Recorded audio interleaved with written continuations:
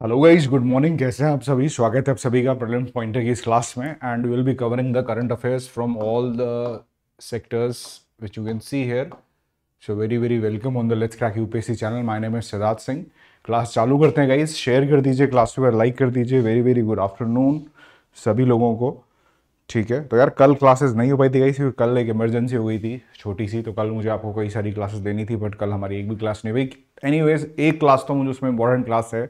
I R वाली, वो तो हम आज रात को नौ बजे will do it okay nine A M nine P M पे we will do it so आज अपन नाइन पी एम पे मिलने वाले हैं, इसके बाद में अपन थ्री पी एम पे मिलने वाले हैं यूट्यूब पे ही, और अभी तो अपन मिल ही चुके हैं, ठीक है? Let's go ahead all right तो will be covering lot of topics today so make sure that guys you are getting the P D F okay sometimes maybe I I forgot to send the P D F तो make sure that you have taken down the notes and many of the time they are many things which I don't, you know, uh, which are not mentioned in the PDF, but I say it out of my knowledge or out of my experience. So make sure that you are also noting down that point or whatever.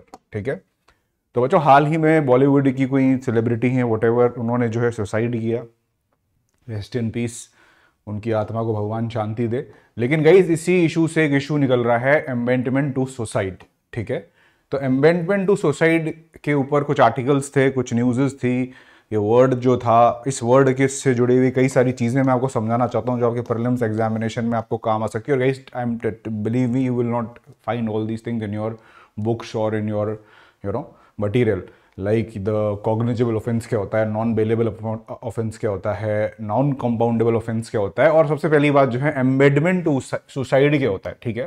Right suicide जब कोई व्यक्ति करता है तो आपको पता है यार, वो अपनी मर्ज़ी से तो वो तो करता नहीं है। कुछ ना कुछ मजबूरी उसकी लाइफ में ऐसी होती है कि उसको सुसाइड करना पड़ जाता है। And that is basically impulsive decision इस रिसर्च स्टडीज़ हुई कि सुसाइड का वो एक इम्पल्सिव फ़ेज़ होता है कि बस उस सेकेंड में आदमी कुछ भी कर गुजरता है। हो सकता है उस समय अगर उसे कोई सपोर्ट कर देता, कुछ कोई दस मिनट उसका माइंड डाइवर्ट कर देता तो सुसाइड का थॉट जो है यार, वो अपने दिमाग से निकाल देता। बट अनफॉर्चुनेटली ऐसा नहीं हो पाता। And a person end up doing और you know committing a suicide लेकिन यही सुसाइड के पीछे जो है सुसाइड करने के पीछे कारण होता है ओके okay, किसी ने भी चाहे सुसाइड किया हो। अगर गई वो कारण जो है कोई इंसान की वजह से यानी कि कोई एक्स पर्सन वाई पर्सन की लाइफ को जो है इतना जीना मुश्किल कर दे कि वाई जो है वो सुसाइड कर ले। ठीक है? तो ये कहेंगे फिर हम कि जो है आपके एक्स ने जो है एमेंट किया वाई को कि वो सुसाइड कर ले।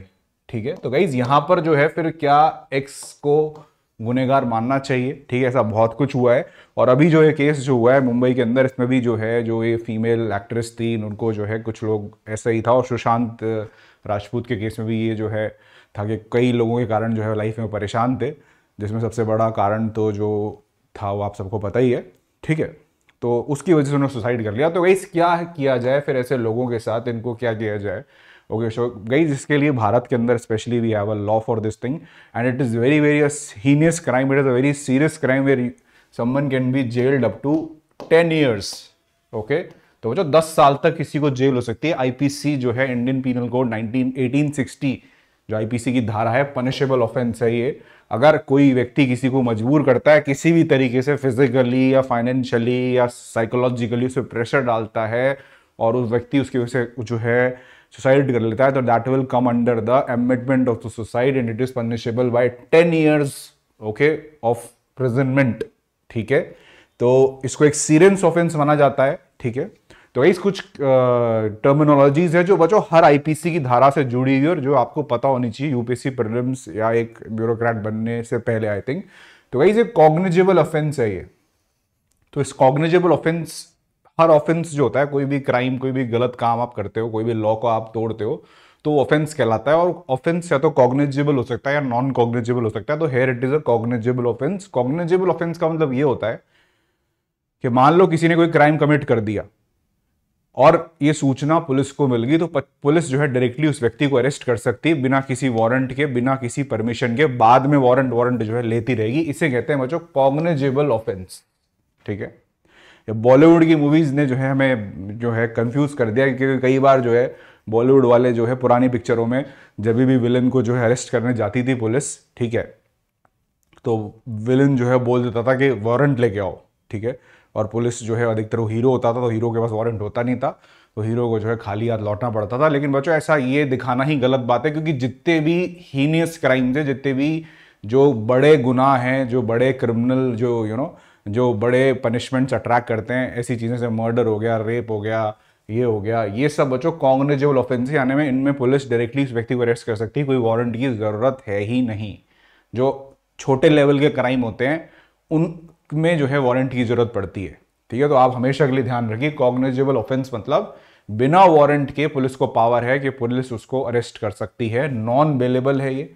जमानत नहीं मिलेगी इसके अंदर से। ओके जमानत नहीं मिलेगी। बाद में जमानत ले सकते हो बट इनिशियली जमानत नहीं मिलेगी। नॉन कंपाउंडेबल है। अब बच्चों, कई ऑफेंसेस जो होते हैं, वो कंपाउंडेबल होते हैं, कई नॉन कंपाउंडेबल होते हैं। कंपाउंडेबल का मतलब ये होता है कि पार्टीज़ जो दो पार्टीज़ जो डिसएग्रीमेंट में है, यानी कि एक जो जिसपे क्राइम किया गया है और जिसने क्राइम किया है, वो दोनों आपस में कोर्ट के बाहर ही समझौता कर सकते हैं। जो भी है सेटिंग जो भी है वो अपने कर सकते हैं और कोर्ट कह देगा, कानून कहेगा, हमें कोई मतलब नहीं है, ठीक है। लेकिन अगर ऑफेंस नॉन कंपाउंडेबल है तो फिर तो कानून की प्रक्रिया से ही जो है निवारण किया जाएगा। The the justice will be done by the court of law and whatever the punishment is mentioned in the IPC or the CRPC वो जो है आपके लिए अप्लाई होगा, यानी कि छोटे लेवल के जो क्राइम्स हैं या जो छोटे लेवल के जो ऑफेंसेस हैं, वो नॉन कंपाउंडेबल होते हैं, ठीक है? वो कंपाउंडेबल होते हैं। कंपाउंडेबल मतलब बाहर आप बिना कोर्ट जाए, बिना पुलिस स्टेशन जाए, आपस में समझौता कर सकते हो। लेकिन अगर कोई किसी का मर्डर कर दे, कोई किसी का रेप कर दे तो थोड़ी ऐसा है कि आपस में बाहर पार्टीज़ जो है वो दोनों समझौता कर ले। तो यही ये तीन वर्ड आप जो है याद करिए। अमेंडमेंट ऑफ़ सुसाइड के बारे में मैंने आपको अच्छा खासा नॉलेज दे दिया है। तो वो जो अमेंडमेंट ऑफ़ सुसाइड और मर्डर में जो है अंतर होता है मर्डर एक तरह से डायरेक्टली आप किसी को किसी की लाइफ ले लेते हो और अमेंडमेंट ऑफ़ सुसाइड में आप किसी को मजबूर करते हो कि वो खुद ही अपनी लाइफ ले ले। ओके तो फ़र्क है थोड़ा बहुत ठीक है? Thin line but there you know so it's so it has a different uh, quantum of the punishment also. In murder you can be imprisoned for your life also. And in some जो है गुनेगार को खुद ही जो है फांसी की तख्ते भी चढ़ना पड़ता है। अब क्योंकि उतना ग्रेव नहीं है मर्डर के बराबर तो यहाँ पर जो है दस साल का मैक्सिमम जो है प्रोविज़न है, लेकिन वो भी एक बड़ा ही, जो जितने भी बड़े ही ऑफेंसेस है, उनमें जो है दस साल का ये जो पनिशमेंट है, बड़ा माना जाता है उसको ठीक है? आर्टिकल 200 के ऊपर जो है न्यूज़ में कुछ था तो इसको पढ़ते हैं, हम आर्टिकल 200 क्या है ये? सर उसे मिला लिखा था यूट्यूब पे फ्री यूनिवर्सिटी पे, बहुत से लोग सही यूज़ काम नहीं जानते हैं। सर, इसको समझा दीजिए। यार, मुझे नहीं समझ में आ रहा पहले आप क्या पूछ रहे हो? Good afternoon Kareena, Sujeet, Rahul, Vaibhav, Ishika, Gauri, Sharad, Sahu very good ठीक है? तो बच्चों, समझ गए? अमेंडमेंट ऑफ़ सोसाइटी क्या होता है पनिशेबल है आईपीसी की धारा के तहत कानून है कॉग्नेजेबल ऑफेंस क्या होते हैं। देखो, ये कहीं ये इन पे सवाल आते हैं एग्जामों में, फिर आप वहाँ पे क्या है, डामाडोल हो जाते हो। अब, नहीं, लक्ष्मीकांत में जो क्या है, वो तो मुझे नहीं पता। मेरी वाली जो थी, जो मैंने एग्ज़ाम दिया था, उसमें तो ये सब नहीं था। ठीक है, पर एग्ज़ाम में ये सब आ सकता है आपके, ठीक है? आर्टिकल 200 ज़रूर होगा आपकी लक्ष्मीकांत में। थोड़ा अपन और गौर कर लेते हैं। तो बच्चों आर्टिकल 200 अभी जो है सरकार और जो फेडरलिज्म है, आपको पता है फेडरलिज्म का मतलब क्या होता है? कि पावर जो है बटा हुआ है सेंटर और स्टेट में। इस फेडरलिज्म के लिए प्रॉब्लम बन गया है आर्टिकल 200 ओके, इस पर एक आर्टिकल था अखबार में। Let's not mention from now will not mention the clippings उसमें आपको कुछ दिखता भी नहीं है, वो कटिंग जो होती है न्यूज़पेपर की, वो मतलब नहीं दिखाने का। सीधा अपन जो है टॉपिक को ही पढ़ा करेंगे और वहीं पे जो है सीधा कंटेंट पे फोकस करेंगे, ठीक है? तो गई कॉपरेटिव फेडरलिज्म आपको पता है गई कॉपरेटिव फेडरलिज्म भी वर्ड है कि भाई सेंटर और स्टेट को मिलजुल के काम करना चाहिए लोगों की भलाई के लिए। टांग अड़ाने की बजाय एक दूसरे में कॉपरेट करना चाहिए, ये कॉपरेटिव फेडरलिज्म है। फेडरलिज्म यह है कि भाई सेंटर और स्टेट मिलकर देश को चलाएँगे। लेकिन बच्चों, आर्टिकल 200 यहाँ पर, सेंटर स्टेट रिलेशन में आपके प्रॉब्लम बन रहा है, ये आपके कॉपरेटिव फेडरलिज्म में प्रॉब्लम बन रहा है, ठीक है? ये एक तरह से लड़ाई का एक इसने मैदान खोल दिया है, सेंटर और स्टेट की जो सरकार है। सेंटर में बच्चों, एक दूसरी सरकार है अपने पास, एक्स। स्टेट में मान लो, एक दूसरी सरकार है, वाई। सेंटर बच्चों अपना नॉमिनी भेजती है जिसको हम कहते हैं गवर्नर स्टेट के अंदर, कोई भी स्टेट है, उसकी विधानसभा होती है, वहाँ पे कानून बनाना होता है तो विधानसभा पहले कानून को पास करती है। फिर वो कानून जो है वाइस स्टेट बनाए वो गवर्नर के पास जाता है। फिर गवर्नर उसको अपना साइन मारेगा, उस पर ठप्पा मारेगा, तब वो कानून जो है पास होगा। तब उस स्टेट के अंदर कामकाज होगा। लेकिन गई यहाँ पर क्योंकि गवर्नर अब सेंटर से भेजा सेंटर का नॉमिनी है यानी कि सेंट्रल में जो पॉलिटिकल पार्टी है उसका होता है, उसका आदमी होता है गवर्नर उसकी पसंद का या यू नो पार्टी मैन होता है एक तरह से वो, ठीक है? तो वो क्या करता है वाई जो दूसरे गवर्नमेंट दूसरी पॉलिटिकल पार्टी की सरकार है स्टेट में, उसके लिए प्रॉब्लम कर देता है। जैसे कि जैसे बिल पास हो गया तो उसको सिग्नेचर नहीं देगा साइन नहीं करेगा। तो जो आर्टिकल 200 यहाँ पर शांत है, खामोश है which does not prescribe a time line for a governor कि भाई गवर्नर को इतने समय तक इस समय में तो लेजिस्लेटिव असेंबली यानी कि विधानसभा ने अगर कोई बिल पारित किया है तो गवर्नमेंट गवर्नर को परमिशन देनी पड़ेगी। भाई गई ये समस्या बढ़ते बढ़ते बहुत ज़्यादा ग्रेव हो चुकी है, भयानक हो चुकी है, क्योंकि अधिकतर स्टेट्स में जहाँ पर बीजेपी की सरकार नहीं क्लियरली बात कर लेते हैं अपन, वहाँ पर गई ये समस्या हो रही अगर हम तमिलनाडु की ही बात करें, एक स्टेट पे जहाँ पर बीजेपी की सरकार नहीं है बीजेपी की जो अलाइड पार्टी की सरकार नहीं है, वहाँ पर कई सारे इंपॉर्टेंट बुल बिल्स जो हैं ऐसे अटके हुए हैं, ठीक है? और जो इन बिल्स के यहाँ पे नाम लिखे हुए हैं ओके तमिलनाडु में बच्चों ट्वेंटी बिल्स हैं। अब आप बताओ इसमें क्या दिक्कत है? जिसको वहाँ की विधानसभा पास कर चुकी है, लेकिन सिर्फ़ वो बिल जो है एक्ट इसलिए नहीं बन पा रहे हैं क्योंकि गवर्नर उसको अपना ठप्पा दे नहीं रहा है।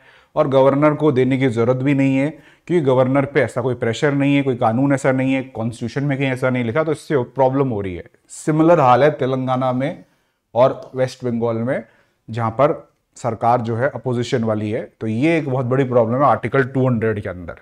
ठीक है? एक सेकेंड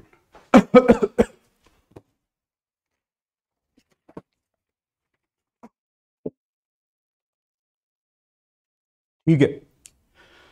चलो जो आर्टिकल 200 पे जब है बात, जब हमारी संविधान में जो है कॉन्स्टिट्यूंट असेंबली जो संविधान हमारा बना रही थी, तब बचो प्रोफेसर जो आपके ये सिबन लाल सक्सेना है, इन्होंने बोली भी थी ये बात कि यार ये टाइम लिमिट हम नहीं दे रहे हैं गवर्नर को तो ये इससे प्रॉब्लम हो सकती है, लेकिन उनकी बात को नज़रअंदाज कर दिया गया और संविधान में इसका कोई प्रोविज़न नहीं डाला गया। बाद में जो है हाईकोर्ट वगैरह ने भी इसमें कई सारे फैसले जो है दिए अपने के लिए, और यही बोला कि कोई टाइम लिमिट नहीं है। ओके तो गवर्नमेंट गवर्नर को जो है बच्चों, यहाँ पर अपनी नैतिकता, अपने कॉन्शियसनेस से जो है एक्ट करना चाहिए और उसको फालतू में किसी बिल वगैरह को रोकना, कानून को रोकना नहीं चाहिए तो ये बात हुई थी। लेकिन इसका परमानेंट सोल्यूशन कही या तो कॉन्स्टिट्यूशन में कमेंटमेंट कर कर लाया जा सकता है, या एक कानून ला के लाया जा सकता है कि गवर्नमेंट पे एक टाइम लिमिट होनी चाहिए। ऐसा नहीं उसकी मर्ज़ी आए जब तक वो बिल को जो है अपनी जेब में रख के बैठा रहेगा। ठीक है, इसी तरह की आपको पता है इसको हम सेंटर में इसको हम पॉकेट वीटो कहते हैं प्रेसिडेंट के केस में। ठीक है, उसे पॉकेट वीटो कहते हैं। वो आर्टिकल 201 में आता है पॉकेट वीटो प्रेसिडेंट का। तो वो भी बच्चों प्रॉब्लमैटिक है सेंटर के लिए। वैसे तो सेंटर अभी इतना स्ट्रांग गवर्नमेंट है सेंटर में, कि प्रेसिडेंट कुछ भी नहीं बोल सकता है सेंटर गवर्नमेंट के खिलाफ इतनी स्ट्रांग गवर्नमेंट है। लेकिन कई बार ऐसा भी हुआ है कि सेंट्रल पार्लियामेंट ने कोई बिल पास कर दिया और प्रेसिडेंट उसको एक्सेंट ही नहीं दे रहा, भाई साइन ही नहीं कर रहा है। तो 201 सेंटर के बारे में बात करता है। 200 जो आर्टिकल है talks about the states of course all right so that is a thing okay समझ गए आप लोग? ठीक है? तो बच्चों इसमें national NC R W C आप मेंस uh, में काफ़ी पढ़ोगे इसमें जो कि ये भी वाजपेयी साहब के टाइम पे कमेटी को बैठाई गई थी। तो इसने बोला था इस कमेटी की रिकमेंडेशन थी कि छः महीने का अपर लिमिट लगा दो कि छः महीने में गवर्नर को या मेंस के हिसाब से मेरे हिसाब से ज़्यादा इंपॉर्टेंट है ये। तो एनसीआरडब्ल्यू ने बच्चों ये बोला था कि आप छः महीने का टाइम लिमिट लगा दो कि छः महीने में, चाहे प्रेसिडेंट हो, चाहे प्राइम चाहे आपका गवर्नर हो, उसको डिसीज़न लेना ही पड़ेगा। बिल को वो अनलिमिटेड इनफाइनाइट टाइम के लिए अपनी जेब में नहीं रख सकता है। ठीक है? That's it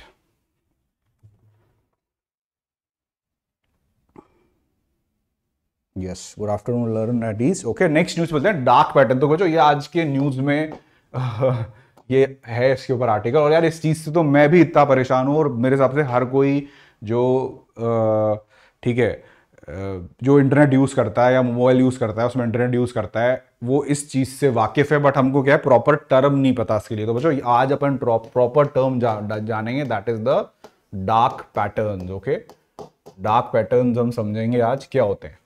ठीक है? डार्क पैटर्न ओके तो गई अपन सब फ़ोन यूज़ करते हैं मोबाइल यूज़ करते हैं। गई कई बार अपन, आपने नोटिस किया है, आपको वेबसाइट पे गए, ठीक है? उस वेबसाइट पे गए आप किसी काम के लिए और उस पर इधर उधर पॉपअप्स आने लग गए, ये स्क्रीन वो स्क्रीन आ गई उसमें कोई वीडियो चल रहा है छोटा सा उसको आप बंद करना चाह रहे हो, लेकिन वो प्ले हो गया, गलती से आपने क्लिक कर दिया तो वो इंस्टॉल होने लग गया। आप कह रहे यार, आप बोल रहे हो, ये क्या हो रहा है? ठीक है? तो ये सब जो डार्क पैटर्न के अंडर आता है और आई एम श्योर हम सब इससे जो है परेशान है। तो वही ये क्लेवर ट्रिक्स होती है inter based internet based company की, किसी ना किसी तरह से आपसे वो क्लिक करवा दें बस उसके ऊपर, और फिर वो सॉफ्टवेयर ऑटोमेटिकली आपके डाउनलोड होने लग जाएगा, वो उसको आपके सब्सक्रिप्शन पेज पे लेके चला जाएगा, अगर गलती से कोई बेचारा बिल्कुल ही ना समझे उसने क्लिक कर दिया तो पैसा वैसा अगर उसके अकाउंट में है तो वो कट जाएगा। तो ये गई सब जो है डार्क पैटर्न है तो इन्हें कहते हैं dark pattern some internet forms have been tricking users into agreeing to a certain condition of clicking a few links और बस उस लिंक पे उनका तो काम बन जाता है, उनको तो पर लिंक के हिसाब से पैसे मिल जाते हैं। टाइम किसका वेस्ट होता है? आपका। कंफ्यूज कंफ्यूज कौन होता है? आप। ठीक है। और वायरस वायरस भी आ जाते हैं ऐसी चीज़ों से तो इनको सब कहते हैं dark pattern okay so the unsuspecting users would not have expected to such terms और click U R Ls but for the deceptive tactics deploy by the tech firm मतलब अगर आपको एक बार यू नो ऑप्शन दिया जाता तो आप उसको कभी क्लिक नहीं करते, लेकिन वो टेक्निक कुछ ऐसी लगाते हैं कि फिर जो है वो आपको क्लिक करना ही पड़ जाता है। गलती से, जाने अनजाने में वो भूल हो ही जाती है। और उसका नतीजा ये होता है कि आपका ईमेल आने लग जाएँगे, आपका बहुत सारे हो गए फालतू के ईमेल आने लग जाएँगे, जिनको अनसब्सक्राइब करना भी मुश्किल है, उनको हटाना भी मुश्किल है, ठीक है? इन सबको कहते हैं डार्क पैटर्न्स या डिसेप्टिव पैटर्न्स ठीक है? तो what are dark pattern such pattern are unethical user interface ये यूज़र इंटरफेस होता है। आप जैसे कोई स्क्रीन खोली, कुछ भी आपने खोला तो उसको आपको मजबूर करेंगे, कैसे ना कैसे आप उस पर क्लिक कर दो and then you will you know create a problem for yourself तो वो जो कंपनियों उनको तो फ़ायदा होता ही है इससे, ठीक है? तो ये आपके यूज़र्स के जो राइट्स हैं इंफॉर्मेशन के, उसका भी एक तरह से उल्लंघन है। तो इस हाल ही के अंदर यूरोपियन यूनियन ने अमेजन का जो आप अपन सब यूज़ करते हो तो अमेजन बचो अपना जब भी आप जाओ तो प्राइम इंडिया में तो आपको कुछ करता नहीं है। आप जब भी अमेजन पे जाओगे, वो आपको मजबूर करेगा प्राइम ले लो, ठीक है? प्राइम ले लो। प्राइम में आपको, मैं खुद भी परेशान हो चुका हूँ, सर, दो बार मैंने प्राइम ले लिया और फिर क्या, पहले वो कहता है कि प्राइम ले लो, आपकी कोई डिलीवरी फ़ीस नहीं लगेगी, आप जो भी सामान मांगोगे डिलीवरी फ्री होगी। लेकिन प्राइम लेने के बाद भी जो है, उसने कई बार जो है, वो डिलीवरी फ़ीस चार्ज करता है। तो भाई, ये बात उसको मुझे पहले बतानी चाहिए थी। तो बच्चों यूरोपियन यूनियन में तो केस हो गया। कि अमेजन जो है जानबूझकर जो है मजबूर करता है लोगों को अमेजन प्राइम का सब्सक्रिप्शन लेने के लिए। और एक बार बंदा अगर सब्सक्रिप्शन ले ले तो उसको इतना मुश्किल है कैंसिल करना प्रोसेस इतना कॉम्प्लेक्स है, कई स्टेप्स में आगे कि आदमी छोड़ता है, छोड़ो यार। तो उसके बाद अमेजन ने माना इस बात को उन्होंने अपना जो है अमेजन प्राइम का सब्सक्रिप्शन को अगर कैंसिल करना है तो उस प्रोसेस को ईजी बनाया। ठीक है? तो इसे कहते हैं गाइज़ अपन dark patterns, okay? So baseless countdowns online deals okay fine prints add on cost okay making cancellation button hard to see ठीक है, कई बार देखो वीडियो चल रहा है, छोट बड़ा पूरा स्क्रीन पर मतलब छोटा सा कोने में बटन जो है क्लोज करने का छोटा सा है कोने में। उसको आप दबाना भी चाहोगे, पहले तो आपको दिखेगा ही नहीं, और दिख भी गया गलती से, अगर आपकी आपकी आँखें बहुत ही तेज है, आप दबाना वो चाहोगे, पता चला वो उसी पे क्लिक हो गया और वो आपको और दूसरी साइट पे ले गया। तो ये सब गई एक तरह से अनएथिकल चीज़ें हैं, ठीक है। Making ads appears news reports वो आपको एड दिखा रहा है। उसमें जो है करीना कपूर की फ़ोटो लगा दी साइड में तो आपको लग रहा है कि करीना कपूर इस प्रोडक्ट को सपोर्ट कर रही है बट करीना कपूर को पता भी नहीं कि मेरी फ़ोटो कहीं से लगी हुई है ठीक है? तो ये सब बेवकूफ़ी भरी बातें हैं ठीक है? दे जस्ट फोर्स यू और गलती से क्रेडिट कार्ड वगैरह डाल दिया तो आप फ्री ट्रायल के बहाने बचो। उसमें तो बिल्कुल मत फंसीएगा। वो ये तो बहुत स्कैम फुलर में पेरेंट्स को ज़रूर बताइएगा कई बार क्या है कुछ भी आपको बोलता है किसी की लोकेशन आप ट्रैक कर लो और कुछ भी ऐसे अन, ऐसे अनएक्सपेक्टेड चीज़ आपको ऑफ़र करेगा कि इतने लॉटरी लग सकती है या इस सॉफ्टवेयर से आप ये कर सकते हो और फ्री ट्रायल है इसका, एक महीने का, वो कर लो और उसके बाद ही आपको पैसे कटेंगे आपको। ठीक है? तो आप सोचोगे, यार, सही है, एक महीने का फ्री ट्रायल कर लेता हूँ। ठीक है? उसके बाद अगर अच्छा लगा तो कंटिन्यू करूँगा, वरना पैसे लगेंगे ही नहीं। लेकिन बच्चों, वो इस प्रोसेस से आपसे पहले ही क्रेडिट कार्ड की डिटेल्स ले लेगा या डेबिट कार्ड की डिटेल्स ले लेगा। और आप फ्री टाइल जैसे ही खत्म होगा, आपको पता भी नहीं चलेगा कि पूरे पैसे कट गए। आपको चाहे वो लेना भी ना हो, चाहे उसे खोल के भी ना देखें। ये सब जाल होता है, इसमें कहीं फंसना नहीं है, ठीक है? और अपने को एजुकेट भी करना है अपने आसपास लोगों को, और ये सब आपका आता है डार्क पैटर्न पे। समझ गए आप? आगे बढ़ते हैं गुड गवर्नेंस डे आज बच्चों गुड गवर्नेंस डे है। ट्वेंटी सिक्स दिसंबर आप सभी लोग आगे जाकर जो है ब्यूरोक्रेट्स बनोगे, देश चलाओगे, सरकार चलाओगे तो गुड गवर्नेंस डे का गाइस ध्यान रखिएगा ठीक है? तो गुड गवर्नेंस क्यों बनाया जाता है? क्या इसका लॉजिक uh, है और we will be talking about that some initiatives UN has also talked about this thing some in India has has taken about I will I will will telling you about everything. ठीक है ये बहुत बड़ा बच्चों आपके part है mains के अंदर। प्रॉब्लम्स में तो नहीं पर मेंस में इसका बहुत बड़ा रोल है। ठीक है तो वो बच्चों good governance day basically okay आपके you you know Atal Bihari Vajpayee साहब का जो है, इस टाइम पे जन्मदिन था तो उस, उनकी याद में जो है हम गुड गवर्नेंस डे बनाते हैं 25 दिसंबर सॉरी 25 दिसंबर को अटल बिहारी वाजपेयी के साहब की याद में बनाते हैं हम गुड गवर्नेंस डे 2014 से, यानी कि जब से बीजेपी की सरकार आई है, तब से गुड गवर्नेंस डे को बनाने की प्रथा जो है चालू हो रही है, ठीक है। गुड गवर्नेंस का मतलब ये होता है कि इसकी जो गवर्नमेंट है वो अकाउंटेबल है, ठीक है। अकाउंटेबल मतलब जो भी डिसीज़न वो ले रही है, उसके प्रति वो जिम्मेदार है और जवाबदेह है वो जनता को, कुछ भी डिसीज़न वो नहीं ले सकती है, ठीक है? ये गुड गवर्नेंस है। गुड गवर्नेंस के वजह और भी बहुत कंपोनेंट्स होते हैं, जिनको यूनाइटेड नेशन ने डिफाइन किया है, वो सब आपके सामने ये रहे, ठीक है? गुड गवर्नेंस में पार्टिसिपेशन होता डिक्टेटरशिप नहीं होती है। एक आदमी हर चीज़ कंट्रोल कर रहा है ओके वो नहीं होता। ये आपको यहाँ दिख नहीं रहा होगा, कोई नहीं पीडीएफ मिल जाएगी, आपको Telegram channel C D UPC join कर लीजिएगा। तो गुड गवर्नेंस मीन्स गई पार्टिसिपेशन चाहे वो गरीब है, छोटा है, बड़ा है, कोई भी कास्ट का है, कोई भी रिलीजन का है सबका पार्टिसिपेशन होना चाहिए गवर्नेंस में। Participation very important this I am not saying United Nation is saying and one two three से लेके एट बातें कही है। रूल ऑफ़ लॉ किसी की मन मर्ज़ी नहीं चलेगी, कानून के हिसाब से काम होगा। ट्रांसपेरेंसी पारदर्शिता रहेगी। कोई नहीं बंद दरवाजों के बीच में फैसले लिए जा रहे हैं जिनका इफ़ेक्ट आप पे हो रहा है और आपको पता ही नहीं क्या फैसले हैं वो। रिस्पॉन्सिवनेस अगर किसी व्यक्ति को दिख समस्या है तो वो कंप्लेन कर सकता है और उसको रिस्पॉन्स देगी सरकार ओके कॉन्शियस ओरिएंटेशन जो भी सरकार डिसीज़न ले रही है गवर्नमेंट डिसीज़न ले रही है काम कर रही है कॉन्शियसनेस यानी कि सूझबूझ से वो काम करेगी इक्विटी सबका बराबर हिस्सेदारी होगी ओके okay, वही इक्विटी और पार्टिसिपेशन लगभग सिमिलर सी बात है सबकी बराबर से जो है हिस्सेदारी रहेगी हर चीज़ में। इफ़ेक्टिव होनी चाहिए गवर्नेंस एफिशिएंट होनी चाहिए और अकाउंटेबल जवाबदेह होनी चाहिए। ये बचो गुड गवर्नेंस के कुछ आपके पॉइंट से आपको याद रख सकते हो। ये मेंस में तो ज़रूर आपके काम आने वाले ही हैं और यू यूएन ने दिए हैं ये, ठीक है? बाकी नोलन कमेटी भी है इसमें, ठीक है? तो वो आप एथिक्स में पढ़ोगे बाद में, ठीक है? नाउ गाइज़ इंडिया ने क्या किया है बच्चों? गुड गवर्नेंस इंडेक्स हम निकालते हैं एक। कौन निकालता है ये index ministry of personnel grievance and pension ये जो है गुड गवर्नेंस इंडेक्स निकालती है और ये सारे स्टेट्स और यूनियन टेरिटरीज को इसमें रेटिंग दी जाती है रैंक दी जाती है कि भाई राजस्थान में बहुत अच्छी गवर्नेंस और रैंक वन है, मध्य प्रदेश रैंक टू है रैंक थ्री पे तमिलनाडु है। तो ये गुड गवर्नेंस इंडेक्स निकाला जाता है। इसमें जो देश, जो स्टेट जो स्टेट या जो यूटी बेहतर प्रदर्शन करती है ओके वो जो है आपके अच्छे से इसमें परफॉर्म करेगी. Then there is a national e governance plan 2008 में इसको अनवील किया गया था, जिसमें हमने ये कोशिश करी कि हर चीज़ को ऑनलाइन कर दिया जाए, ताकि उसमें अपने आप ही करप्शन होने के चांसेस स्लो होने के चांसेस वो फ़ाइल वाला सिस्टम है ना कि फ़ाइल नहीं मिल रही है फ़ाइल खो गई है फ़ाइल अभी ऊपर गई है, वो सिस्टम ही पूरा खत्म हो जाए ओके okay, क्योंकि सब कुछ ऑनलाइन हो जाए तो कभी भी आप देख सकते हो हाँ भाई इस केस में क्या प्रोग्रेस हुई है वगैरह। तो national e governance plan of launch then the RTI act very very important okay right to information जिसमें आप कोई भी जानकारी ले सकते हो। 2005 ठीक है? तो ये बच्चों गुड गवर्नेंस के कुछ स्टेप हैं देन नीति आयोग आया फिर बाद में। बहुत सारी चीज़ें और देन गुड गवर्नेंस के लिए हमने और क्या क्या किया? लोक आयोग लोक लोकपाल हम लेके आए हैं ठीक है? लोकपाल लेके आए हैं हम। गुड गवर्नेंस के लिए हमने कई सारे फीचर्स लेके आए सोशल ऑडिट हम लेके आए गुड गवर्नेंस के लिए। ओके आरटीआई एक्ट आप लिख सकते हो। एक और बिल है, हालाँकि वो पास नहीं हुआ वैसे तो।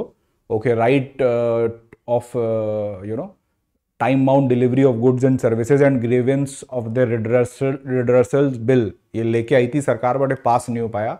तो बहुत अच्छा बिल था, ये एथिक्स में पढ़ोगे आप आगे जाके। तो फ़िलहाल बच्चों, इतना सही है गुड गवर्नेंस डे पे इतनी जानकारी। प्रिलिम्स के लिए काफ़ी है मेरे हिसाब से, आगे बढ़ते हैं प्रिलिम्स का मेंस में भी आपको काफ़ी बत हो जाएगी हेल्प इससे, आगे बढ़ते हैं नेक्स्ट डाइंग पोलर बियर्स तो ये गाइज़ आज जो है, आज के अखबार में ये न्यूज़ है डाइंग पोलर बियर्स ओके तो गई पोलर बियर्स बच्चों, एक तो मैं आपको बताना चाहता हूँ, ठीक है, कि पोलर बियर्स की जो है डेथ हो रही है, ये क्यों है, ये इस पर ज़्यादा एम्फेसिस नहीं किया आर्टिकल में जो न्यूज़ पेपर में है। So polar bears are basically dying first of all. Why they are dying guys? Because they because of the climate change. The climate they are not getting okay okay, ये बहुत जो sensitive species है ये poles पे रहते हैं तो ये बहुत ही सेंसिटिव स्पीशीज़ हैं ठीक है ये सेंसिटिव स्पीशीज़ हैं तो इनको जो है फिर आपके थोड़ा भी तापमान में ऊपर नीचे जो है पूरा सिस्टम इकोसिस्टम ही पूरा बहुत सेंसिटिव है ये ओके okay, खाने पीने की इनको सील्स वगैरह जो है नहीं मिल पा रही है या जिस जिन तरीकों से ये सील्स को पकड़ा करते थे अब वो आइस शेल्फ्स नहीं है ओके तो वो फिर इनकी स्ट्रैटेजी तो बच्चों पोलर बियर जो है मैसिव अमाउंट में they are being killed okay climate change का इशू आप लिख सकते हो। लैक ऑफ़ फ़ूड रिसोर्सेस आप लिख सकते हो। फ़ूड रिसोर्सेज जिसको पोलर बियर खा के जो है बेचारा अपना जीवन जो है व्यतीत करता था, वो सब में कमी के कारण पोलर बियर्स की डेटा आया कि पोलर बियर की डेथ हो रही है। पॉपुलेशन जो है, इनकी डिक्लाइन पे हो रही है और जल्दी अगर हमने कुछ नहीं किया तो they will soon be under the category of the critically endangered ठीक है? आर्कटिक रीजन में एक और बात आपको काफ़ी बच्चों को नहीं पता होगी, यही सिर्फ़ पोलर बियर जो है, सिर्फ़ आर्कटिक रीजन में मिलते हैं, ये वाला जो है, यही मिलते हैं पोलर बियर्स साउथ पोल पे नहीं मिलते हैं. ऐसी छोटी छोटी पर मोटी बातें जो है, आप याद रखा करिए, ठीक है? पोलर बियर्स सिर्फ़ नॉर्थ पोल यानी कि आर्कटिक रीजन में मिलते हैं। सदर्न पोल पे बिल्कुल नहीं मिलते हैं। तो ओके, काफ़ी लोगों को नहीं पता होगी और ये बेसिक बात है। ठीक है, अब वहाँ पे इनको क्या समस्या हो रही है कई तरह की? ये प्रेडेटर है मतलब वहाँ पे आपके ये की स्टोन स्पीशी है टॉप प्रेडेटर है ये। ठीक है तो फ़ूड रिसोर्सेज फॉर स्कैवेंजर्स बच्चों आर्कटिक फॉक्स जो आर्कटिक में रहने वाली लोमड़ी है, और आर्कटिक में रहने वाले कई सारे बर्ड्स हैं। ओके, वो गाइस पोलर बियर जो शिकार करता है, उस शिकार का छोटे मोटे जो है टुकड़े वगैरह खाकर वो अपना जीवन जीते हैं। आर्कटिक फॉक्स आर्कटिक बर्ड्स अब गाइज़ अगर पोलर बियर्स नहीं रहे तो फिर आर्कटिक फॉक्स भी नहीं रहेगी आर्कटिक बर्ड्स भी नहीं रहेगी। मतलब एक नॉमिनो इफ़ेक्ट क्रिएट हो जाएगा। पूरी फ़ूड चेन जो है यहाँ पर खतरे में आ सकती है। ओके तो जो यहाँ पर रिसर्चर्स ने बोला कि पोलर बियर को सील्स नहीं मिल रही है। सील एक प्रकार का जानवर होता है जो पानी और ज़मीन पे भी ज़िंदा रह लेता है। वो पोलर बियर्स खाते हैं तो यू नो एंड वो नहीं मिल रहा है और क्लाइमेट चेंज की वजह से पोलर बियर्स का जो है डेथ हो रहा है। ओके ओके सो इससे बड़ी प्रॉब्लम है। ओके और it's already a threatened species okay Arctic foxes भी इससे जो है प्रॉब्लम आ सकती है। Okay okay. ओवर पॉपुलेशन हो सकती है सील्स की। अब सील्स को कोई खाने वाला नहीं बचेगा तो बचो सील्स की आबादी ज़्यादा बढ़ जाएगी ओवर पॉपुलेशन हो जाएगी तो इकोसिस्टम की जो और सर्विसेज़ हैं, उनके ऊपर लोड पड़ेगा। ह्यूमंस पे भी इफ़ेक्ट पड़ सकता है तो बहुत बड़ी समस्या है, जिसको अब जल्दी जो है हमें एड्रेस कर लेना चाहिए। और काफ़ी समय से, आज ही नहीं, काफ़ी समय से बचो पोलर बियर्स को लेकर क्लाइमेट चेंज एक्टिविस्ट हैं, वो काफ़ी आप, आपको शायद आज पता चलेगी बट एक काफ़ी पुराना इशू है कि पोलर बियर्स को क्योंकि सबसे ज़्यादा जो क्लाइमेट चेंज का इफ़ेक्ट है वो पोल्स पे दिख रहा है, क्योंकि आइस परमानेंटली जो है मेल्ट हो रही है वहाँ पर। तो इन पे ही जो वहाँ पर रहने वाले लोग हैं या जानवर हैं, उन पर सबसे ज़्यादा फ़र्क यहाँ पर देखने को मिल रहा है। समझ गए आप? नेक्स्ट न्यूज़ पे चलते हैं। अल जजीरा की बच्चों ये न्यूज़ है। और कल ये बड़ी ट्रेंड कर रही थी न्यूज़ ठीक है? About the Vladimir Putin saying to end the war. Okay, he is open to negotiation. So he has said that Moscow is op open to negotiate on the Ukraine. Okay, but okay, West should not you know uh, stop trying to you know tear apart the historical Russia. बच्चों यहाँ पर basically कौन से historical Russia की बात कर रहे हैं मैं आपको मुद्दे पे लेना चाहता हूँ हालाँकि पुतिन ने ऐसा कुछ भी नहीं बोला है कि जो आपको पता होना चाहिए प्रिलिम्स के हिसाब से लेकिन मैं आपको मुद्दे पे ले जाना चाहता हूँ कि बैकग्राउंड है थोड़ा आपको समझ में आता रहे, ठीक है? हिस्टोरिकल रशिया की बच्चों, यहाँ पर बात जब कई बार पुतिन जो है, ये बात हो रही है यहाँ पे सोवियत यूनियन की। पुतिन को कुछ सालों में पता नहीं क्या बुखार चढ़ा है कि वो रशिया को अब सक्सेसर मान रहे हैं, वो दोबारा या तो सोवियत यूनियन को मिलाना चाह रहे हैं या वो सोवियत यूनियन की आइडियोलॉजी पे चल रहे हैं कि मतलब जो उसकी जो यू नो पावर था, जो प्रेस्टीज थी, उसको वापस लाना चाह रहे हैं रशिया में। तो वो याद होगा, सबसे पहले बच्चों, कोरोना की वैक्सीन जो निकाली थी, वो रशिया ने निकाली थी। उसका नाम क्या था? स्पुटनिक। और स्पुटनिक जो नाम व्लादिमीर पुतिन ने रखा उसका, वो स्पुटनिक वही पहली सैटेलाइट का नाम था दुनिया में जो सबसे पहले सोवियत यूनियन ने छोड़ी थी। यानी कि बच्चों, रशिया अपनी लेगेसी ढूंढ रहा है कहीं ना कहीं यू, सोवियत यूनियन में। वो अपने आप को ये बताना चाह रहा है कि मैं सोवियत यूनियन ही हूँ या मैं आगे जाके सोवियत यूनियन क्रिएट कर दूँगा। ओके और और यूक्रेन हमारा था, उस समय आपको पता है यूक्रेन जो है गाइस एक्चुअली सोवियत यूनियन का ही पार्ट था, ठीक है? थोड़ी सी अपन हिस्ट्री पढ़ लेते हैं इसकी, ठीक है? उस, ये गाइस पूरा सोवियत यूनियन का मैप है, सारा इलाका सोवियत यूनियन का था, और ये छोटू सा देश जो यहाँ पर आपको दिख रहा है, ये यूक्रेन है आज का, ठीक है?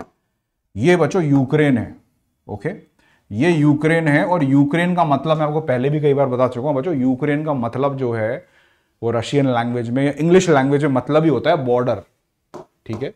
B O R D A R border मतलब सरहद। तो किसकी सरहद है बच्चों? यूक्रेन, सोवियत यूनियन की बॉर्डर माना जाता था, एक समय पे बॉर्डर लगता था ये सोवियत यूनियन का। उसके बाद यूक्रेन ने क्या बोली? उसके बाद यूक्रेन अलग हो गया, सोवियत यूनियन से 1991 में, ठीक है? अब तब तो सोवियत यूनियन घायल शेर था तो कुछ कर नहीं पाया, वो चलो अलग हो गया, ठीक है? 1991 के बाद जो 2000 तक तो वो जुड़ा हुआ सा रहा। सोवियत यूनियन से रिलेशन अच्छे थे। उसके बाद जो है, एकदम ही अपोजिट सरकार आ गई यूक्रेन में, जो कि वेस्ट से ज़्यादा प्यार करती थी। ठीक है उनकी गोद में जाके बैठना चाह रहे थे वो। और वो जो यूक्रेन ने ये जिद पकड़ ली कि हम जो है नेटो के अंदर शामिल होना चाहते हैं। नेटो बच्चों, एक टोटली एंटी अलायंस है सोवियत यूनियन का। ये बात रशिया को बिल्कुल नागारा गुजरी कि नहीं नहीं नहीं नहीं नहीं नहीं नहीं, भाई, कुछ भी हो जाए, तुम तुम्हारे जो भी डिफरेंसेस है तो हमसे सॉल्व कर लो। नेटो में तुम नहीं जा सकते हो। नेटो तो हमारा एकदम एंटी है। नेटो हम मना ही हमारे को मारने के लिए और तुम उसमें जाना चाहते हो और तुम्हारे बगल में तुम हमारे और हो। तो नेटो का तो पार्ट हम तुम्हें बनने नहीं देंगे। तो पुतिन ने कहीं यही बोला यूक्रेन को कि आप हमको लिख, लिखित में रिटर्न अश्योरेंस दे दो। जेलेंस्की को पहले बोला था वैसे पुतिन ने ऐसे ही नहीं अटैक कर दिया कि रिटर्न अश्योरेंस दे दो कि नेटो में तुम नहीं जुड़ोगे। तो जेलेंस्की ने मना कर दिया नहीं नहीं नहीं हम कोई गुलाम देश थोड़ी हमें जो जिसमें मना रहे हैं हम उसमें घुसेंगे। ठीक है? तो फिर पुतिन ने जो है, नेटो का जो लीडर है, जो नेता है यूएसए, ठीक है, यूएसए से पूछा कि आप हमें अश्योरेंस दो कि आप यूक्रेन को कभी भी नेटो में नहीं मिलाओगे। अमेरिका ने मना कर दिया, क्यों नहीं मिलाएँगे? हमें मन है तो मिलाएँगे, नहीं है तो नहीं मिलाएँगे, तुम कौन होते हो हमें बताने वाले? और इसी बात पे नाराज़ होकर बच्चों, रशिया ने अटैक कर दिया यूक्रेन पे। और एक और आपको एक एपिसोड बताता हूँ, ये गई छोटा सा जो इलाका है, ठीक है इस, ये कहानी सारी बहुत पुरानी है गई, इसके लिए आपको कभी कोल्ड वॉर से पढ़ाई, पढ़ानी पड़ेगा। ये जो बच्चों, बहुत इंपॉर्टेंट इलाका है, इसे क्रीमिया कहते थे। इसको 2014 के अंदर ज़बरदस्ती रशिया ने यूक्रेन से छीन कर अपने इलाके में मिला लिया। 2014 में यहाँ पर भी एक तरह से बहुत बड़ा पंगा हो गया था। ये ब्लैक सी का बहुत ही इंपॉर्टेंट एरिया है, क्रीमिया। ये यूक्रेन है आपका। यूक्रेन का पार्ट था ये क्रीमिया, क्रीमियन पेनिनसुला। 2014-15 में भयंकर न्यूज़ बनाई थी। ज़बरदस्ती इसको रशिया ने अपने इलाके में मिला लिया। तब से ये इशू चल रहा है, ठीक है? तब से इशू चल रहा है। तो ये पुतिन ने कहा है कि बच्चों बात करने के लिए तैयार है वो। दस महीने हो चुके हैं लड़ाई करते करते चौबीस फरवरी को ये जो है लड़ाई चालू हुई थी, इसको खत्म करना चाह रहे हैं वो लोग। ओके लेकिन वो ये नहीं कहते, वो जो जेलेंस्की है, उसकी जो रिजीम को न्यू नाजी रिजीम कहते हैं। न्यू मतलब न्यू नाजी मतलब आपको पता ही है हिटलर से जोड़ा हिटलर से जुड़ता है कि नया हिटलर है ये, ठीक है? वो भी उनको न्यू नाजी रिजीम कहते हैं। ओके, दोनों एक दूसरे को एक ही कहते हैं। ओके सो डेडलीस्ट कॉन्फ्लिक्ट बच्चों बताया जा रहा है उसको वर्ल्ड वॉर टू के बाद में।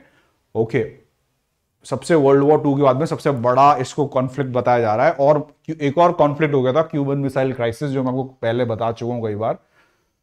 उसके बाद और वर्ल्ड वॉर वर्ल्ड लेवल पे क्यूबन मिसाइल क्राइसिस और वर्ल्ड वॉर टू के बाद सबसे बड़ा क्राइसिस बताया जा रहा है। तो it's a serious thing okay और क्रीमिया के बारे में मैंने को बता दिया ठीक है? तो वही अभी व्लादिमीर पुतिन बोल तो रहे हैं पर वो बोल रहे हैं और जो करते हैं उसमें बड़ा अंतर होता है। So let's see what happens okay कोई कॉन्क्रीट प्लान तो उन्होंने कोई बताया नहीं है। ठीक है बोला है कि ठीक है वी आर रेडी बट जो है रशिया की शर्तें ये है कि रशिया ये बोल रहा है कि पहले आप जो है यू you नो know, हमारी टर्म्स पे अग्री करना पड़ेगा और यूक्रेन इस बात पड़ा हुआ है कि नहीं पहले जितना भी हमारा इलाका है उसको छोड़कर रशिया की फोर्सेस जाएँगी तब हम बात करेंगे। ओके दोनों में से मेरे को कुछ भी होता हुआ दिख नहीं रहा है तो यहाँ पे कुछ कॉन्क्रीट बताने को, याद करने को नहीं है हमारे पास, ठीक है? ओके तो G A mustard any problem till here please ask ठीक है? Any problem please ask okay yes तो ये स्पुटनिक की लड़ाई है, वो जो सारी okay it is all about Sputnik की लड़ाई नहीं है अपनी लेगेसी की है। ठीक है? ईगो जो है, वो जो सबको लेके डूबा है, चाहे वो रावण हो, चाहे वो पुतिन हो, चाहे वो सद्दाम हुसैन हो, चाहे वो कोई भी लीडर हो जो अपने यू नो ईगो में ही जो है, जिसको कंट्रोल नहीं है अपनी ईगो पे।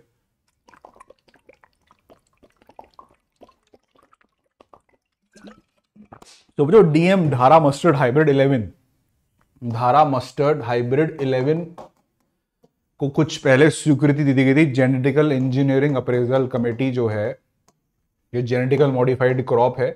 इस पर हम पहले डिटेल में डिस्कशन कर चुके हैं करंट अफेयर्स की क्लास में। इसको आपको पता है, पहली फ़ूड क्रॉप बन गई है ये भारत में। जो खाने पीने से रिलेटेड है मस्टर्ड है, सरसों है तो इससे जो है आपको पता है सरसों का तेल बड़ा जो है बनता है। और गई एक सवाल मैं इसलिए इसको न्यूज़ पे यहाँ पे लेके आऊँ एक सवाल बचो दो बार पूछा जा चुका है हमारे एडिबल ऑयल के ऊपर। ठीक है? तो जो एक ऑयल के बारे में तो आपको सबको पता है कि एक ऑयल ने तो हमारा को परेशान कर रखा है पेट्रोलियम ऑयल ठीक है? जिसको हम क्रूड ऑयल भी कहते हैं, जो हम बाहर दूसरे देशों से मंगाते हैं और उसकी वजह से बहुत हमारा खर्चा होता है, हमारा फॉरेक्स जो है, विदेशी मुद्रा भंडार जो है वो खाली होता जाता है उसकी वजह से। ये तो हम सब जानते हैं, लेकिन एक और बचो ऑयल है, जो हमारे फॉरेक्स को खा रहा है और जो हमें बाहर से इंपोर्ट करना पड़ता है ऑयल पाम अब ऑयल पाम पे बच्चों पिछले पाँच सालों में यूपीएससी दो बार सवाल पूछ चुकी है मेंस में भी और प्रिलिम्स में भी ऑयल पाम के ऊपर। ठीक है ऑयल पाम बच्चों एक ऑयल है जो कि ट्रॉपिकल इलाके में इक्वेटर पे जो पेड़ होते हैं, उसमें से ये ऑयल पाम निकलता है।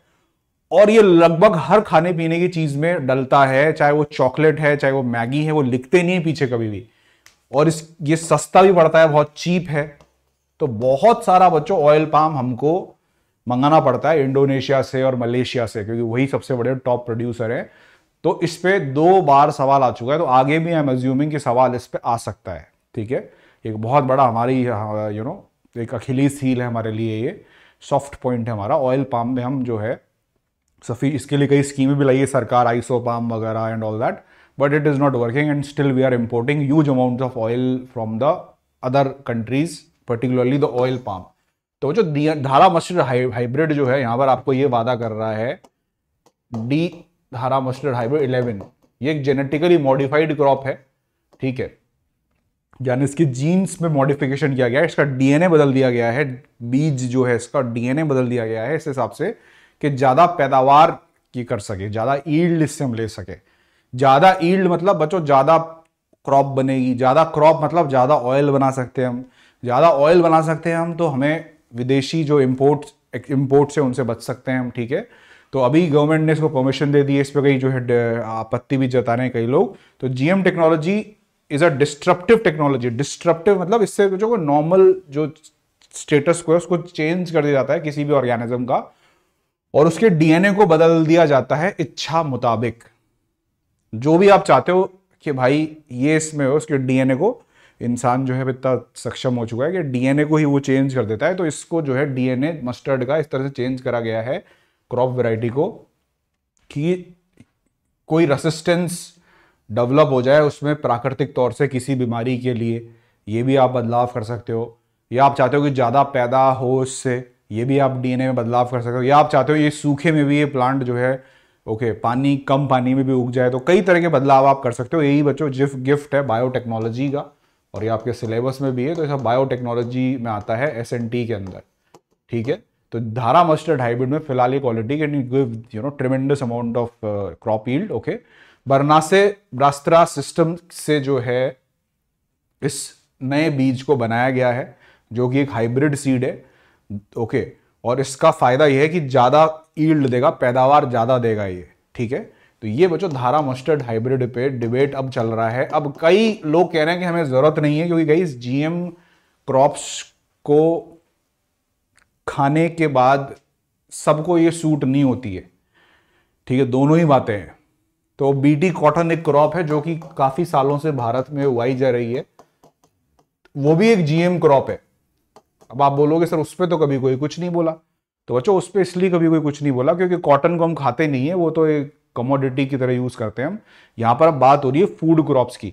तो फ़ूड क्रॉप्स में गई दो यहाँ पे स्कूल ऑफ़ थॉट है। स्कूल ऑफ़ थॉट ही कहता है कि फ़ूड क्रॉप्स में हमें जेनेटिकली मॉडिफाई उन्हें नहीं करना चाहिए। एक एक एक, एक जो प्रोग्रेसिव स्कूल ऑफ़ थॉट है वो कहता है कि नहीं करना चाहिए ठीक है? तो यहाँ पे नीचे आंकड़ा है बच्चों सिर्फ़ 2021-22 में ही हमने 14 मिलियन टन एडिबल ऑयल बाहर से मंगाया था। ये हमारी दो तिहाई है हमारी खपत का। तो वही बात हो गई जो क्रूड ऑयल में प्रॉब्लम है कि सत्तर परसेंट वही दो थर्ड हो गया। सत्तर परसेंट हमारा पेट्रोल डीजल जो है बाहर से मंगाना पड़ रहा है। ऐसे तेल जो हम कंज्यूम कर रहे हैं वो भी दो थर्ड जो है बाहर से मंगाना पड़ रहा है। तो वो भी एक प्रॉब्लम है। तो यहाँ पर एक केस स्ट्रांग बन रहा है कि जीएम मस्टर्ड को हम जो है आगे भरने दें और जो जो भी जेनेटिकल मॉडिफाइड ये बीज है इसको अब मार्केट में आने दें, खेतों में जाने दें और फ़सल इससे ज़्यादा लें ताकि जो है डिमांड है उसको पूरा किया जा सके। ठीक है? यहाँ पर गई, मैं आपको सेस वगैरह के बारे में थोड़ा बताना चाहता हूँ। Okay CAG find short transverse of the cess fund okay any problem till here please ask good afternoon Samarth Maske, good afternoon.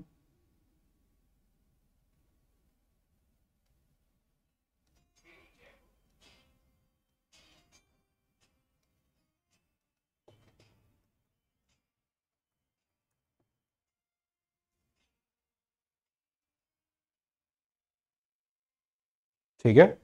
तो can fight short transfer of the cess funds by the centre ठीक है? तो जो CAG ने आपत्ति जताई कि union account of the financial year जो है highlighted non utilisation of cess fund मैं गई यहाँ पर आपको एक ऐसे डिबेट के बारे में बताना चाहता हूँ जो बहुत समय से भारत की जो फेडरलिज्म है, उसमें हमारे सेंध लगा रहा है। लेकिन अब इस बात को समझने के लिए थोड़ा एक्सपीरियंस की ज़रूरत है। कुछ टैक्सेस होते हैं, वो जो एक सेस एक टैक्स होता है, ठीक है? सेस और सरचार्ज ये दो टैक्स के बारे में बताना चाहता हूँ। कॉन्टेक्स्ट कई बार कहीं इंपॉर्टेंट नहीं होता। आपको देखो, समझना पड़ेगा, अगर आपको करंट अफेयर्स में मास्टर बनना है, कभी भी कोई न्यूज़ आती है तो उस न्यूज़ का कॉन्टेक्स्ट जिस वजह से वो न्यूज़ आई है, वो ज़रूरी नहीं है, हमेशा इंपॉर्टेंट हो।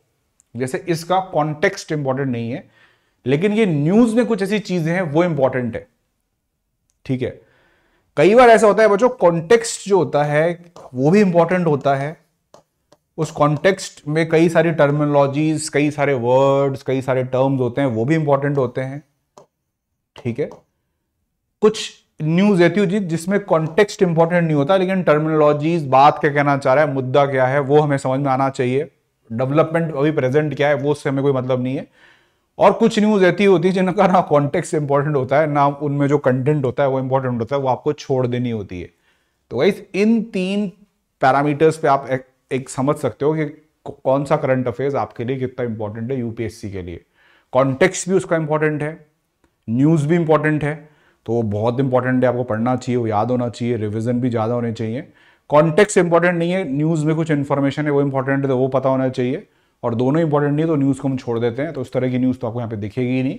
लेकिन मैं चाहता हूँ आप भी ये क्वालिटी जो है डेवलप करो आप डिपेंडेंट ना रहो किसी पर भी। Okay develop this quality okay अब गई सेस और सरचार्ज के बारे में आपको बताता हूँ मैं, ठीक है? तो सरचार्ज होता है, गई टैक्स ऑन टैक्स, सरचार्ज जो होता है, वो होता है टैक्स ऑन टैक्स। टोटल मेरा टैक्स बना, एक लाख रुपए मुझे टैक्स देना है, ठीक है? एक लाख रुपए मुझे टैक्स देना है टोटल, ठीक है? तो उसमें जो है मुझे कुछ सरचार्ज देना पड़ेगा, दो परसेंट तो एक लाख पे दो हज़ार रुपए और मेरे को टैक्स देना पड़ेगा, उसे कहते हैं सरचार्ज। सेस बच्चों सरकार लगाती है किसी स्पेसिफिक पर्पस के लिए। जैसे एजुकेशनल सेस है, जैसे हेल्थ सेस है, ठीक है?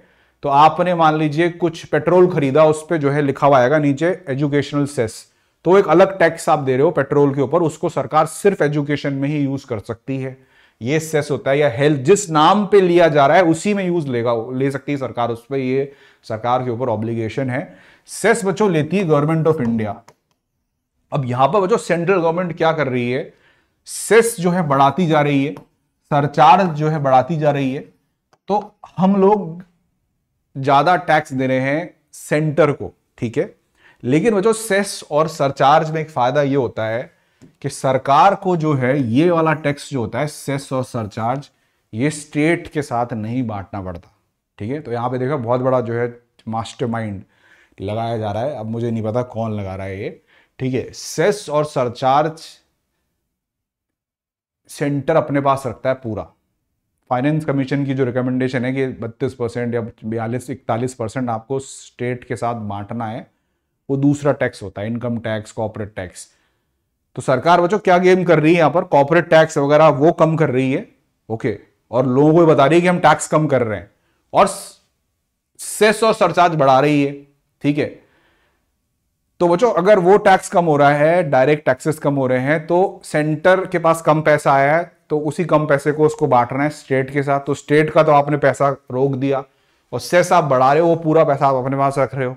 क्योंकि सेस में आपको पता है, फ़ायदा है कि सेस को जो है बांटना नहीं है, ठीक है? तो ये सब क्लेवर टेक्टिक्स है। इससे कई जो अपोजिशन रूल्ड स्टेट्स हैं, वो उस मुद्दे को उठा रहे हैं, ठीक है? और ये है पॉलिटिकल न्यूज़ बट ये हमारी इकोनॉमी से बहुत जुड़ी इंपॉर्टेंट चीज़ है पता होना चाहिए आपको ना। पॉलिटिकल कौन सी पार्टी उठा रही है, किस पार्टी के खिलाफ हो रहा है, वो नहीं पता होना चाहिए। वो मुद्दा पता होना चाहिए सेस क्या होता है और केंद्र सरकार क्यों इंटरेस्टेड है सेस को बढ़ाने के लिए।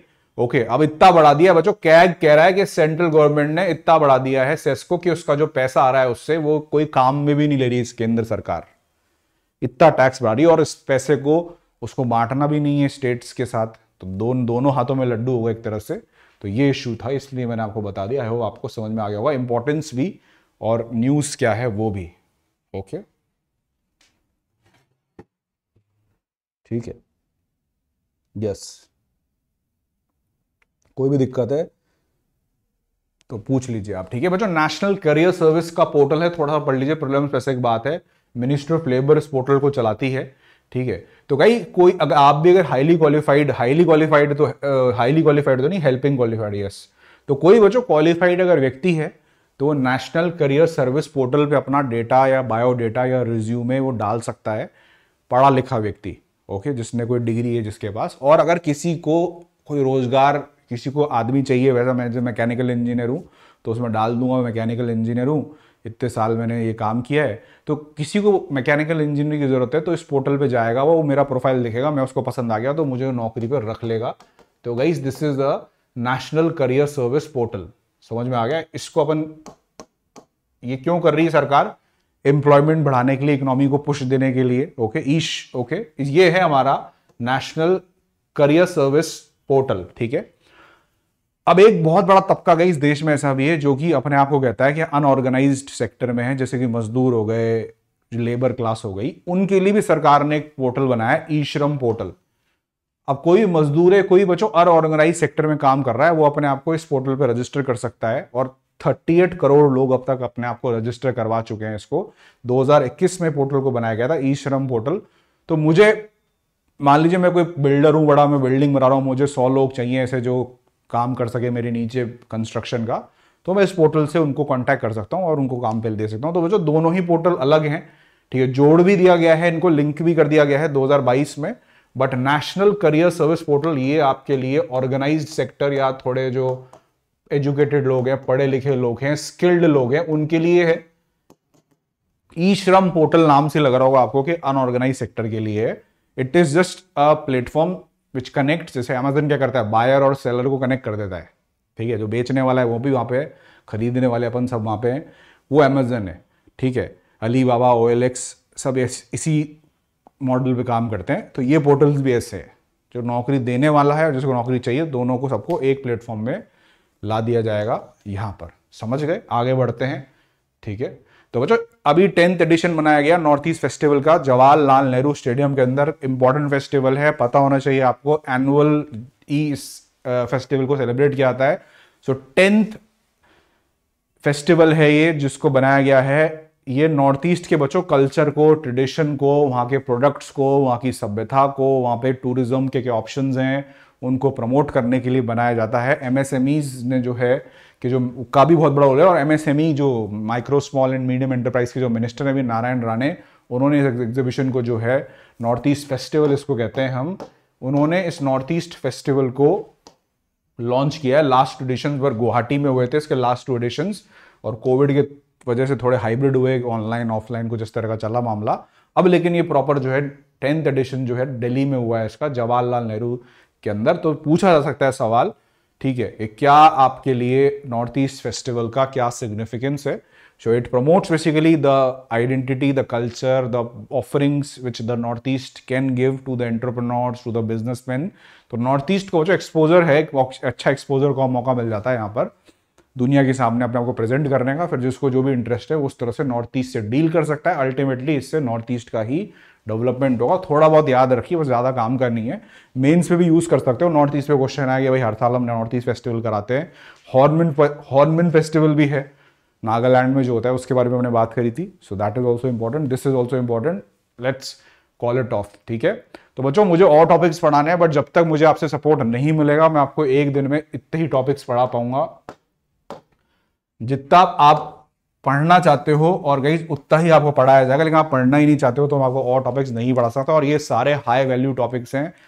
मैं आपको लास्ट क्लास में बोला था, बच्चों, वो गए वो दिन जिसमें आते थे किताबें रट ली पाँच और बन गया आई वो दिन नहीं गए। बहुत ही डिमांडिंग चैलेंजिंग हो गया एग्ज़ाम और पेपर देख कर ही आप अंदाज़ा लगा सकते हो। अगर आपने छः सात आठ महीने से भी पढ़ रहे हो, अगर सीरियसली और पेपर देख आपको जो है हवाइयाँ छूट रही हैं आपकी तो आप समझ सकते हो कि पेपर अब वैसे कन्वेंशनल लाइंस पे नहीं आ रहा है।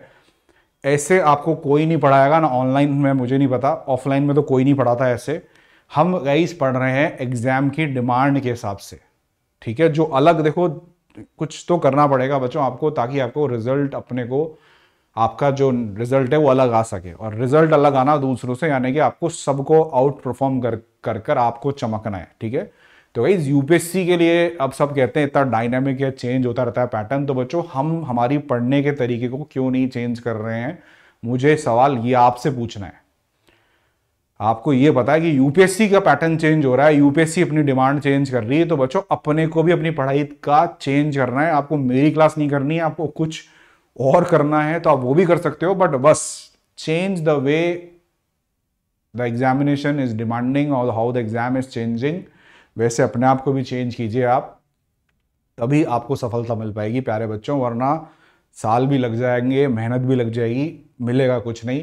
ओके okay, मैं खुद पाँच बार एग्ज़ाम देकर पूरा एक्सपीरियंस आप छोड़ो मैंने कितना पढ़ा है अब तो यही कई बार मैं आपको अपनी मार्कशीट भी दिखा चुका हूँ।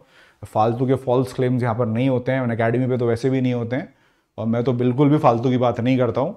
तो मैं आपको एक्सपीरियंस से बता रहा हूँ आप अगर स्ट्रैटेजी के हिसाब से, एग्ज़ाम की डिमांड के हिसाब से नहीं पढ़ोगे, आप भीड़ भेड़ चाल में चलते रहोगे तो आपका रिज़ल्ट भी भेड़ चाल वाला आएगा। आप कुछ अलग करोगे, कुछ यू नो कन्विक्शन के साथ करोगे, ज़रूर आपको जो है सफलता मिलेगी। जितने भी क्रैक करते हैं एग्ज़ाम, वो कुछ अलग करते हैं, तभी वो क्रैक कर पाते हैं, ठीक है? तो पीडीएफ आप जुड़ जाइए सी डी से। अगर रिस्पॉन्स मुझे आपसे अच्छा मिलने लग जा, चालू हो जाएगा, मैं इस क्लास में अभी दस, अपने को पंद्रह, बारह टॉपिक्स करे, जितने भी करे, और डबल कर दूँगा।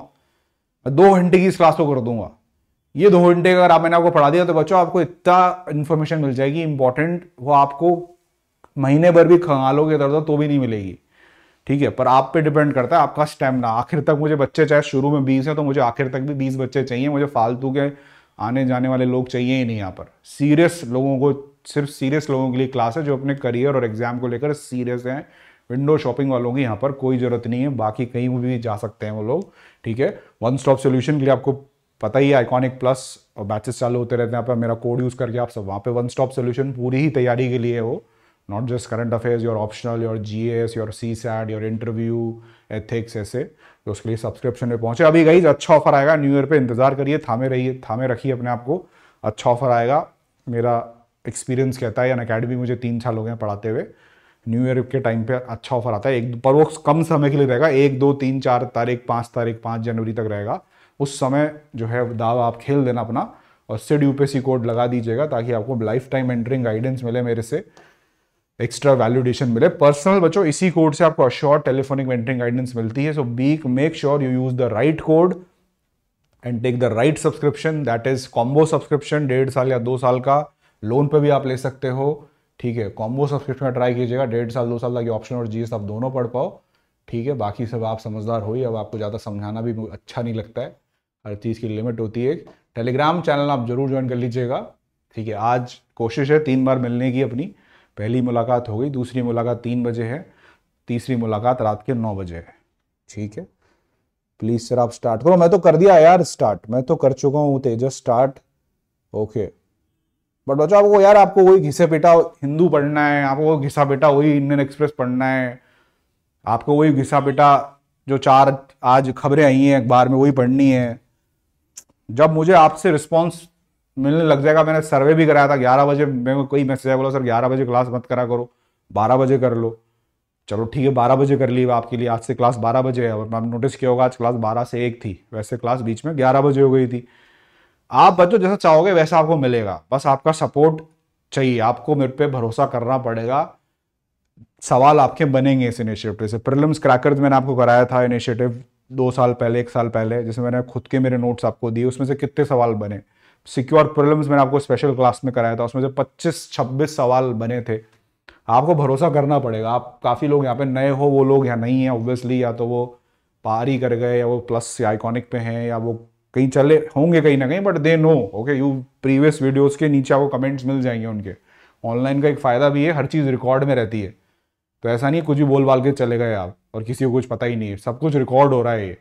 हाथ से दस साल बाद भी आकार आप देख सकते हो सब चीज़ें, ठीक है? तो जो भरोसा करो ट्रस्ट करो, और टाइम जो है सही जगह इन्वेस्ट करो। बाकी आप समझदार हो goodbye take care all the best